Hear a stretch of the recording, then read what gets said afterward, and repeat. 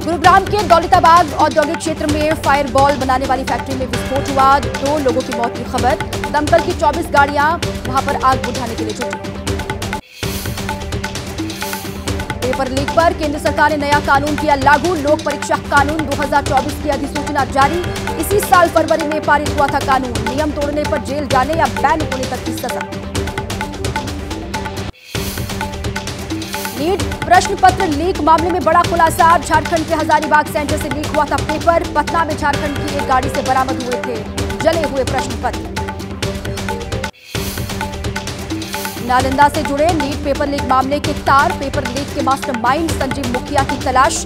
अब तक गिरफ़्तार तेरह आरोपियों से भी जुड़े हो सकते हैं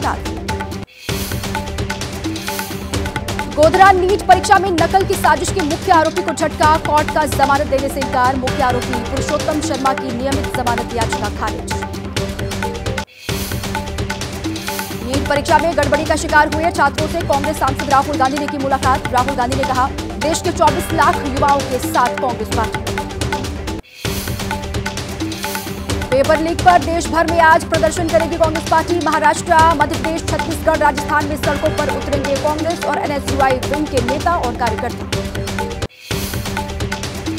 एनटीए द्वारा आयोजित की जाने वाली ज्वाइंट सीएसआईआर, यूजीसी नेट की परीक्षा भी स्थगित। बिहार में टीचर्स के लिए होने वाली सक्षमता परीक्षा भी स्थगित की गई है।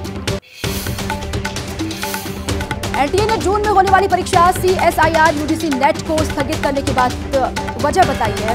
अपरिहार्य परिस्थितियों और तैयारियों संबंधी मुद्दों का हवाला दिया गया जूनियर रिसर्च फेलोशिप सहायक प्रोफेसर पद के लिए पात्रता निर्धारित करने के लिए होती है सीएसआईआर यूजीसी नेट परीक्षा। विज्ञान पाठ्यक्रमों में पीएचडी में दाखिले के लिए भी होता है ये एग्ज़ाम। एनटीए पहले ही रद्द कर चुका है यूजीसी नेट परीक्षा। परीक्षा में धांधली की शिकायत मिलने पर कार्रवाई करने का दावा किया गया। दिल्ली के किराड़ी में जल बोर्ड के ऑफ़िस के बाहर महिलाओं ने किया प्रदर्शन। ऑफ़िस के बाहर जड़ा ताला। दिल्ली में पानी की मांग को लेकर जल मंत्री आतिशी का अनशन दूसरे दिन भी जारी है। हरियाणा से प्रतिदिन 100 मिलियन गैलन पानी छोड़े जाने की मांग। मंत्री आतिशी के अनशन पर कांग्रेस का वार कहा पानी के मुद्दे पर हो रही है राजनीति, लोगों की चिंता होती तो पहले से इंतज़ाम करती सरकार। दिल्ली के सीएम अरविंद केजरीवाल को निचली अदालत से मिली जमानत पर हाईकोर्ट ने स्टे लगाया, नोटिस जारी कर ईडी की याचिका पर मांगा जवाब। बीएसपी प्रमुख मायावती ने पंजाब विधानसभा उपचुनाव के लिए भतीजे आकाश आनंद को बनाया स्टार प्रचारक, मायावती के बाद दूसरे नंबर पर आकाश आनंद का नाम।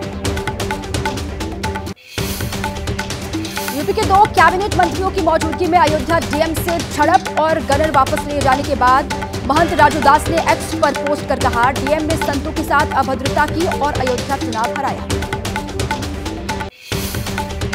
आंध्र प्रदेश में टीडीपी के अयन्ना पुत्रुडू का सर्वसम्मति से विधानसभा अध्यक्ष चुना जाना लगभग तय हुआ है। किसी अन्य विधायक ने उनसे खिलाफ, उनके खिलाफ नहीं लिया है नामांकन।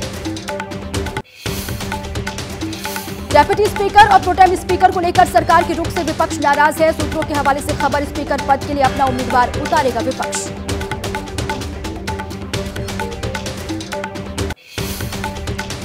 लोकसभा के प्रोटेम स्पीकर को लेकर राजनीतिक घमासान जारी। संसदीय कार्य मंत्री किरण रिजिजू ने कहा, परंपराओं का पालन किया गया है। कांग्रेस नेता प्रमोद तिवारी ने उठाए सवाल।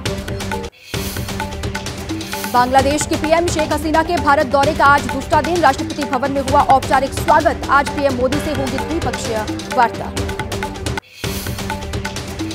केंद्रीय विदेश मंत्री डॉक्टर एस जयशंकर ने बांग्लादेश की प्रधानमंत्री शेख हसीना से की मुलाकात। कई मुद्दों पर हुई चर्चा। दो दिवसीय भारत दौरे पर हैं Bangladeshi PM Sheikh Hasina. GST council की तिरपनवीं बैठक की अध्यक्षता करेंगे केंद्रीय वित्त मंत्री निर्मला सीतारमण। कई अहम मुद्दों पर होगी चर्चा। सभी राज्यों के वित्त मंत्रियों से प्री बजट पर होगी चर्चा। देश के कई हिस्सों में आज भी जारी लू और गर्मी का कहर। यूपी में अगले 24 घंटे का अलर्ट। पश्चिमी यूपी में चल सकती है भीषण लू। एमपी केरल समेत कई राज्यों में भारी बारिश का अलर्ट है। विदर्भ, दक्षिणी ओडिशा, कोंकण, गोवा में सतर्क रहने की सलाह दी गई है। तटीय कर्नाटक और अंडमान में साथ ही अलग अलग हिस्सों में चेतावनी जारी की गई है।